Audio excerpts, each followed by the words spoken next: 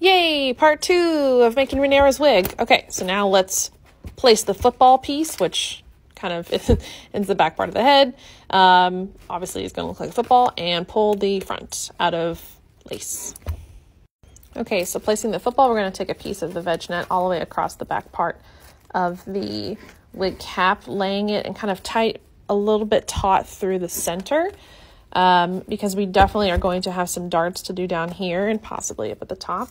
But you'll want to go ahead and place that, still following in that up and down grain of the fabric.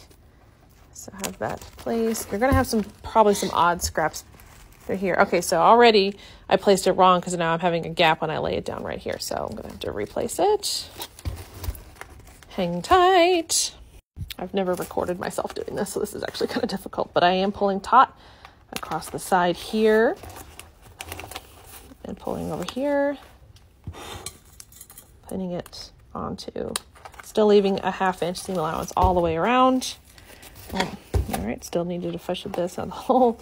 This is definitely going to change the direction of the hair, but that's okay because I need it to be nice and smooth at the top. Pulling that through all the way. This one's going to have to move too. That's okay. And we've got the front, the top part of the head to lay flat now. Moving pins around this way. I hope this is interesting.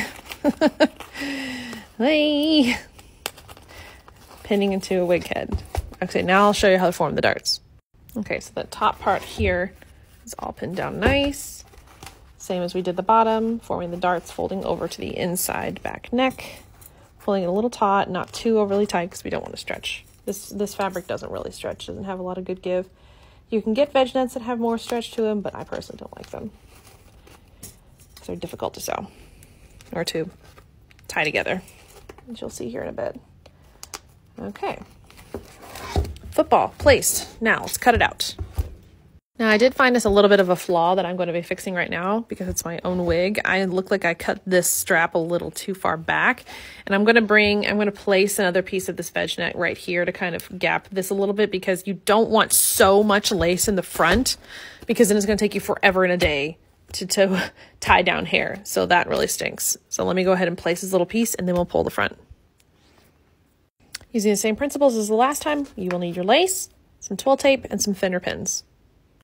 Following the grain of the lace, you're going to stretch it over the complete front of the wig, following the grain, and we're going to pin it down like we did last time, including darts all along the side while taping down the front. I will show you how it's done.